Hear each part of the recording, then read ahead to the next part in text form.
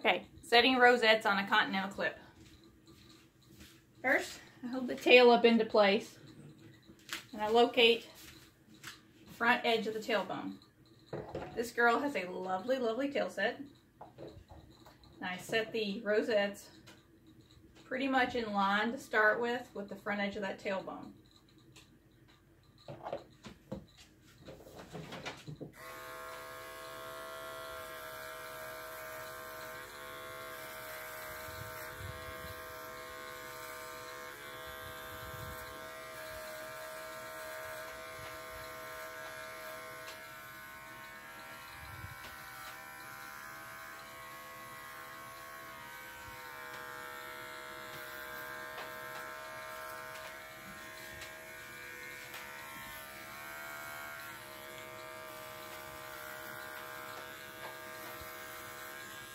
Pretty much every time I do the rosettes, pay attention to that.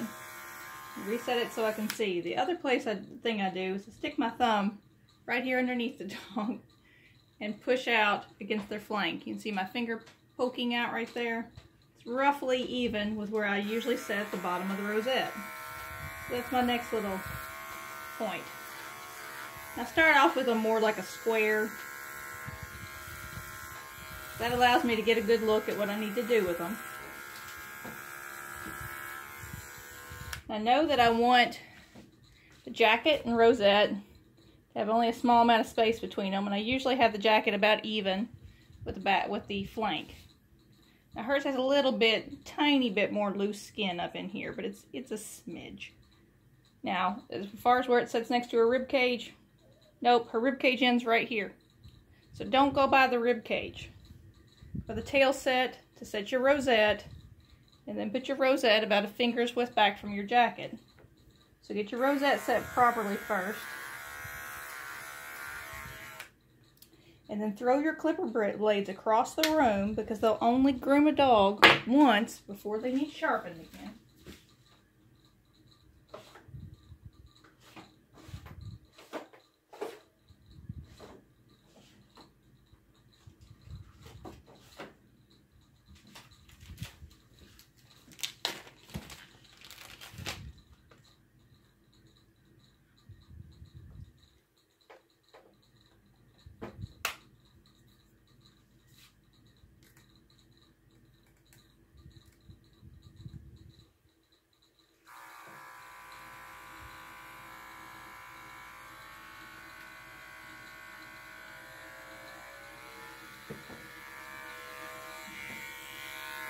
Properly oiled, new blade, freshly washed and dried dog.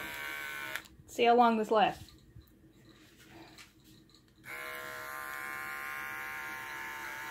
The flank is an area that can be cut easy.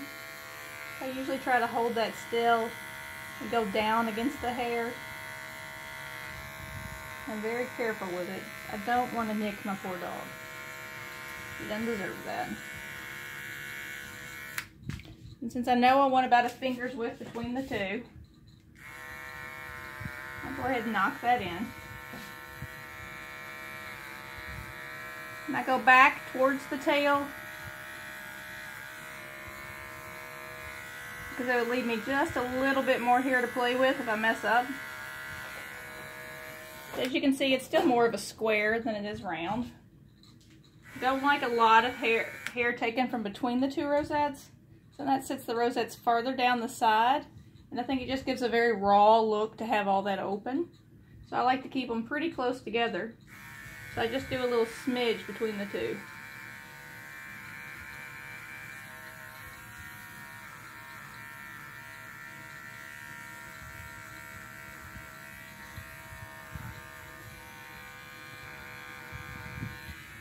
I don't like to do anything in the groom going to artificially draw my eye to that one specific spot on the dog.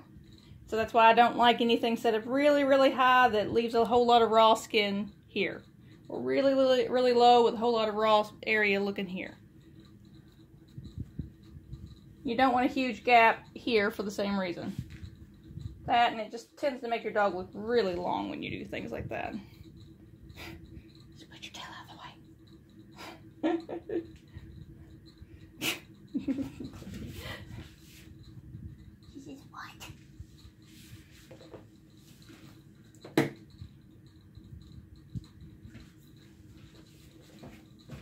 comb, brush everything straight back towards the tail. Flip off everything that falls past your scissor line. Or your shave line, excuse me.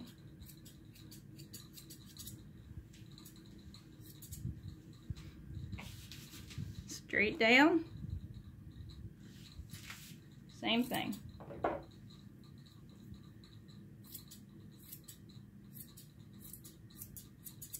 Now see, there's a little bit there that I didn't get with my clippers. That's okay. Did that on purpose to make sure I set it with my shears right first. And then I come back and clean that up with my clippers.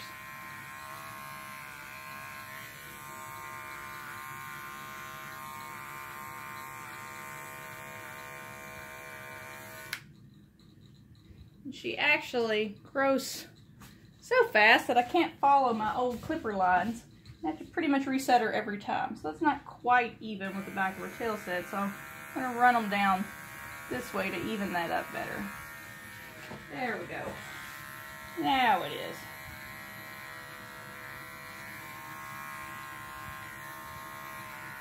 Now, obviously, we also don't want them anywhere near this tall. Pretty sure I didn't scissor them when I did her last time. That was just three weeks ago. She grows too fast.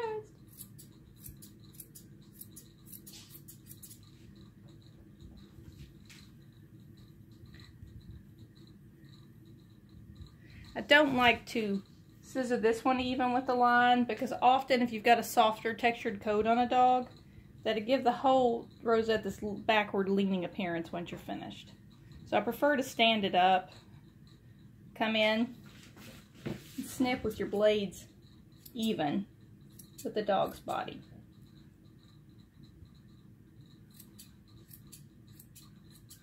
Way easier said than done when you can't really see what you're doing.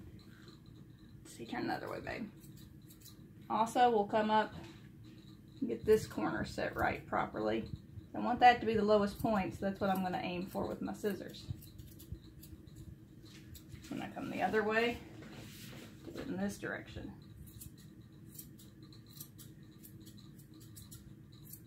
And just clean up whatever falls past my line. I'm not gonna lie, this is the off side, and I always tend to have a slightly misshapen rosette on the off side because I can't see it as well. And you guys can't see because of my head. telling you, it's hard to do all this and keep the camera in view. It's pretty much it needs to be where my head needs to be.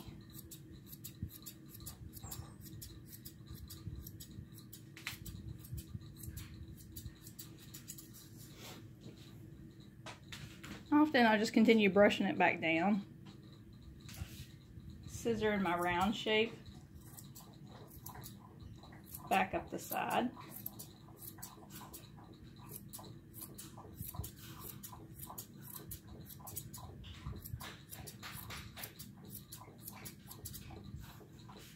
Then stand it up and check the height. Check to see how curved it is. Keep your back down, Goober.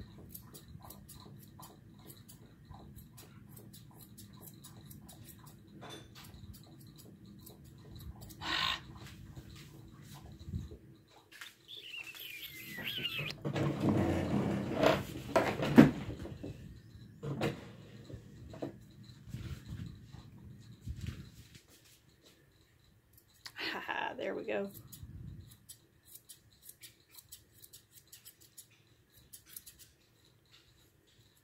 Turn that way, babe. Don't, you don't need to see the camera. Turn your head. Or don't. Whatever, dear. Whatever floats your boat, honey.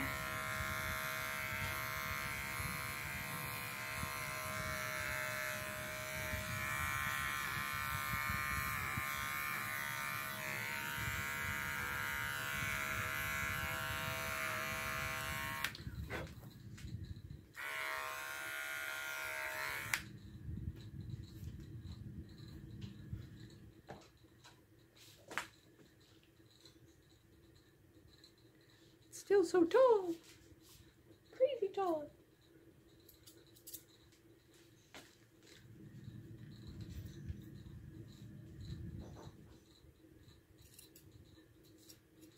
Pretend my mistakes are only because I'm being so awkward about the camera. Not because I'm not just not an especially good groomer.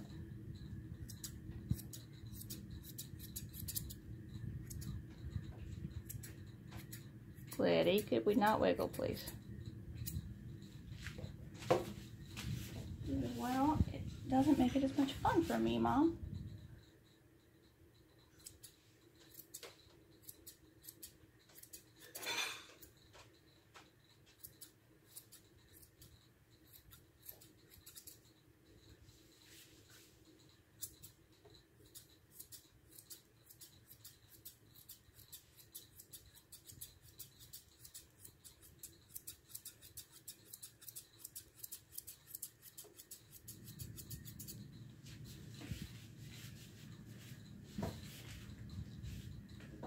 You want to make sure when you're scissoring it that you don't come up around the back and go downhill.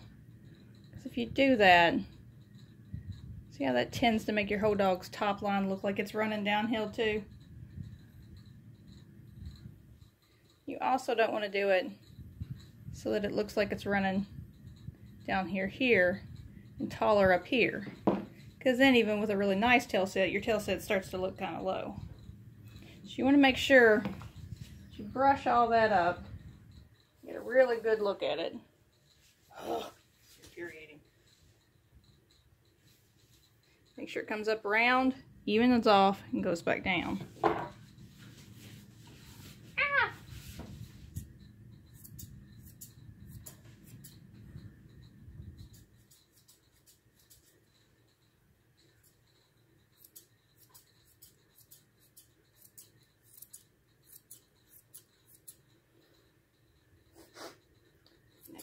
Way. Which neck hair?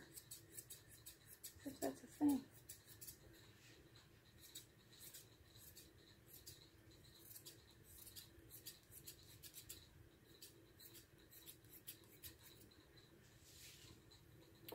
Still way too big. At least from this distance it is.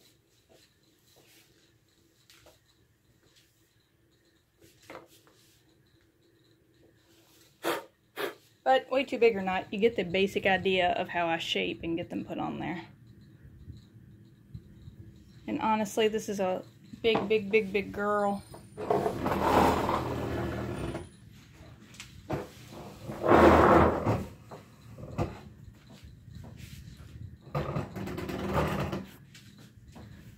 it's not necessarily too big a rosette for her once all this hair is sprayed up into, into her. Eh, it still looks too big to me. Maybe I'll do another one fixing the rosette, but for now, that's that's where we're going to stop.